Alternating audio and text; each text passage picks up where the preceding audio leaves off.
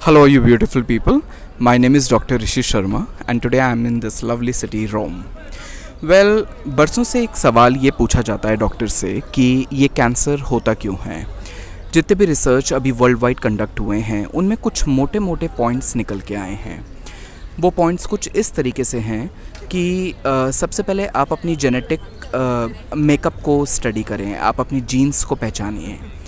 Indian families के अंदर अगर आपके पेरेंट्स को, अगर आपके ग्रैंड पेरेंट्स को कैंसर रह चुका है या हो चुका है you need to be very careful because the propensity of gene in those families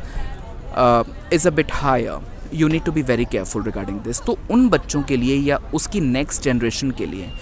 cancer screening test are very important तो आप अपने आप को स्टडी करें आप अपने शरीर को पहचानिए। अगर किसी भी तरह का कोई एबनॉर्मल लम्प एबनॉर्मल सिम्टम अगर आपकी बॉडी में आ रहा है तो just visit to your doctor and he will find out the things for you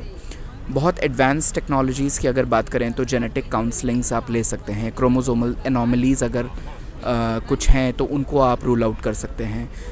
और भी कई सारी चीज़ें हैं इस शॉर्ट वीडियो में वो सारी चीज़ें कवर नहीं हो सकती। Talk to your doctor for that because it is extremely important